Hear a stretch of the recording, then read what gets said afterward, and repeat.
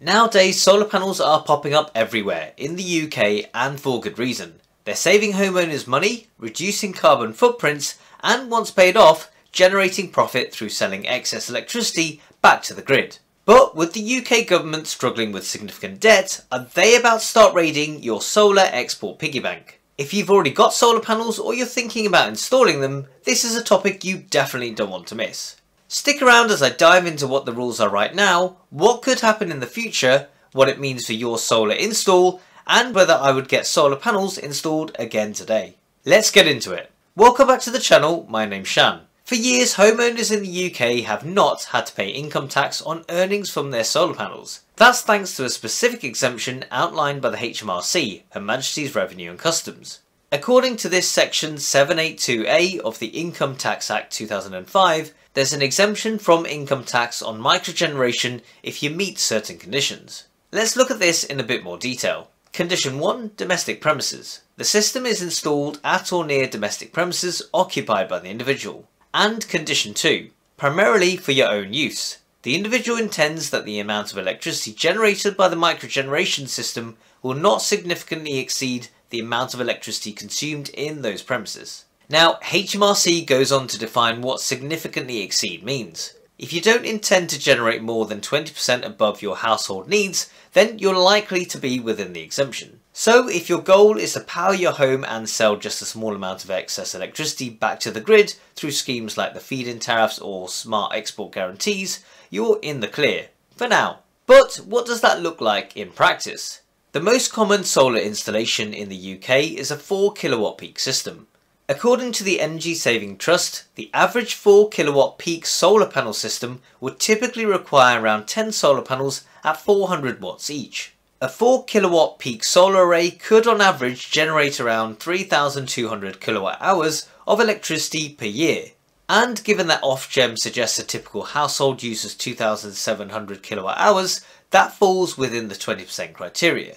But in reality, it's incredibly difficult to use all of the solar energy that you generate. Imagine you've installed a typical domestic solar panel system that generates around 8 to 9 kilowatt hours of electricity per day you'd need to have an electric vehicle or similar high consuming item to soak this all up. Let's not forget that sunshine in the UK isn't exactly consistent. You could well end up costing yourself money trying to soak up the solar that's dipped behind that cloud. Damn you clouds! And most of that solar generation will be around midday and the early afternoon when most people are at work. How much of your solar generation do you think you self-consume? According to the Microgeneration Certification Scheme, MCS self-consumption tables, households with solar arrays but without battery storage typically consume only 20 to 35% of the energy they generate. The remaining energy not used by the household is exported back to the grid. This is where the Smart Export Guarantee or SEG comes in and ensures small-scale low-carbon generators like solar panel owners are paid for the electricity they send back to the grid. So you can see that with solar alone, even an average sized solar array will fall foul of this 20% rule. By installing a home solar battery storage system, MCS estimates that households can consume between 57 to 87% of the energy produced. With a larger battery, this consumption can potentially reach 100%. But at the current time, would you want to self-consume everything you've generated? After having my first solar panel array installed in 2015 under the old FIT scheme, I spent many years trying to self-consume everything we generated, as we were getting paid for it regardless of whether we used it or not, through FIT generation and 50% deemed export payments. However, when we installed our second solar array in 2022, the FIT scheme had ended, and so we signed up to the SEG to get paid for the actual solar export we send back to the grid. We're currently on E.ON's next drive tariff, which gives us 7 hours of off-peak electricity at 6.7p per kilowatt hour and an export tariff paying us 16.5p per kilowatt hour all day. You should be able to see now why it's financially advantageous for those with solar to self-consume as little solar as they can, allowing them to export as much as possible and import their electricity off-peak to charge a home battery, electric vehicle and run whatever else possible in those cheap hours. Could the tax exemption be scrapped? Right now, renewable energy incentives are designed to encourage homeowners to invest in green technology. But tax laws are always subject to change, based on government priorities. We've already seen this with the removal of the vehicle excise duty exemption for electric vehicles after years of free road tax. There are three big factors that can influence this introduction of microgeneration taxation. As solar panel adoption rates climb across the UK, so will the total revenue generated by export payments. In 2023-24, the UK government paid out a total of 30.7 million through seg tariffs, a 327% increase from the 7.2 million paid out in 2022-23. If millions of households are earning money from solar export payments, it might push the government to review its tax policies. Let's face it, the government is always looking for ways to boost revenue.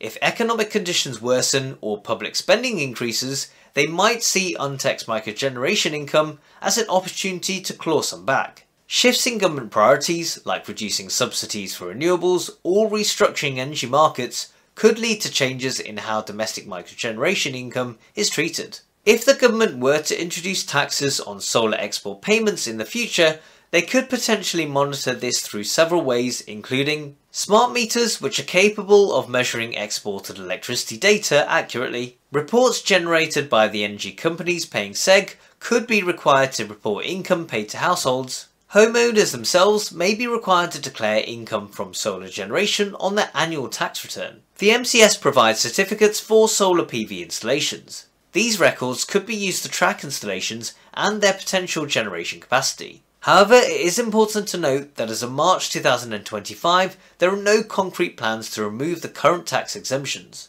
In fact, recent government actions suggest continued support for renewable energy. Within weeks of taking office, the government approved three major solar farms, which will add a combined 1.4 gigawatt of capacity. These projects are expected to power over 400,000 homes and create thousands of jobs during construction. The UK aims to increase solar capacity from 16.9 gigawatts as of mid 2024 to 45 to 47 gigawatts by 2030 and to 70 watts by 2035 under the Clean Power 2030 Action Plan. This represents a significant expansion of solar infrastructure. The Clean Power 2030 Action Plan emphasises decarbonisation and positions renewable energy as a cornerstone of the UK's future electricity system.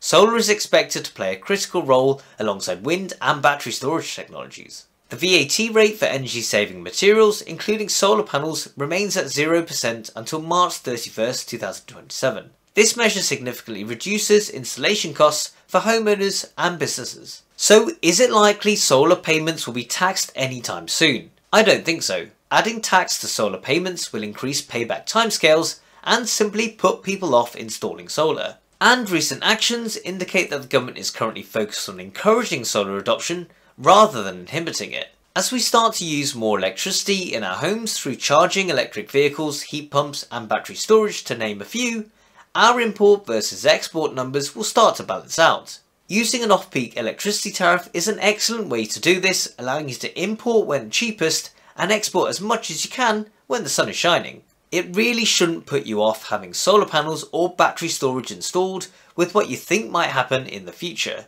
As I've explored in recent videos, there are plenty of reasons why having solar panels installed might be one of the best decisions you make. If you're in the UK and you're looking to get solar panels and battery storage, you can get an installation quote from Octopus Energy. And if you quote our channel code 90239 to your solar specialist at any point before your final sales agreement is signed, you'll get an extra £100 off your solar installation quote.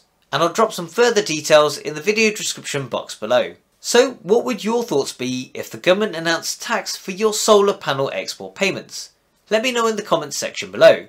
And if you want to make hay while the sun shines, then you should definitely check out this video over here where I compare the best solar and battery tariffs on offer to improve your savings and export payments. Thanks for watching, don't forget to like and subscribe, and I'll see you in the next one.